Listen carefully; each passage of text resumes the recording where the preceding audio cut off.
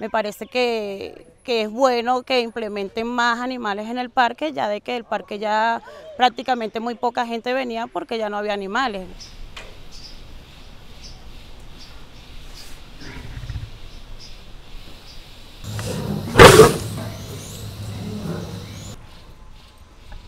¿Cómo se llama? Eh?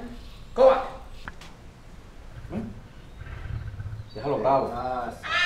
El zoológico Caricuao está aumentando las visitas los fines de semana. Eh, de hecho, este fin de semana pudimos alcanzar la cifra de 8 mil visitantes en el domingo nada más. Está lleno. Mira, dáselo al, al, al camello. Pero ahorita que... Mira. Chivito, chivito.